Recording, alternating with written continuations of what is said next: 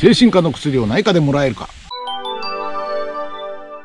精神科医樺沢志音のカバチャンネル。今日は北海道釧路湿原からお届けしています。今日は質問いただきました。ハウゼンさん41歳男性。10年前に不安障害と診断されて薬を飲んで現在は寛解中で通院もしていません。たまにストレスが溜まると昔もらった抗不安薬を豚腹のように飲んでいるのですがもうすぐなくなりそうです。新たに薬が欲しい時は診療内科ではなく内科でも指定の薬をもらえるものでしょうか。これまでの経緯を説明するのが面倒なので薬だけ欲しいと考えています。お薬だけもらうってことはできませんよね。それはね。診察を必ず受けないといけません。一番いいのは前かかってた病院から紹介状っていうものをもらってこういう薬を飲んでいますので引き続きそちらの病院でも処方お願いしますといったようなものを一筆書いていただけるとほとんどの内科の病院あるいはそのかかりつけ医からですね精神科の薬や安定剤や睡眠薬といったものもね内科から処方してもらうということはできるはずです。ほとんどの場合ね。だからできる一番いいのはそのように紹介状精神科から内科へあるいはかかりつけ医への紹介状をもらうっていうのが一番いい。方法ですもしそういう昔かかってた病院とかもう遠くの病院なのでできませんという方の場合は直接内科を受診して昔飲んでた薬なんですけど出してもらえませんかといった場合においては出してくれる先生と出してくれない先生がいると思います。その内科の先生のメンタルに対する理解の深さというかですね。普段からそういう精神安定剤やその睡眠薬などを普通に使ってるような先生とそうでもない先生っていうのが大体内科でもいらっしゃるので普段からそういうのを使ってる先生であれば自分でもある程度そういった薬の副作用とかそういったものも理解しているので安全に使えるとということで処方されると思いますけど睡眠薬とか安定剤をあまり処方されない先生の場合は分かりませんので無理ですって言われる可能性もあるかもしれないですね。なので一番正しい方法というか正当な方法としてはやっぱり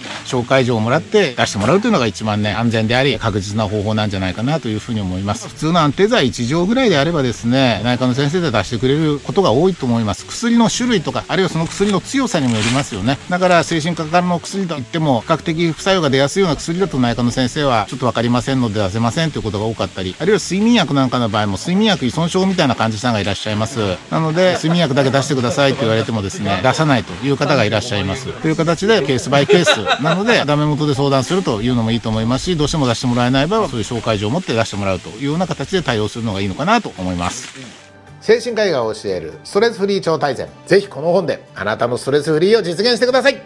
全国の書店で絶賛発売中。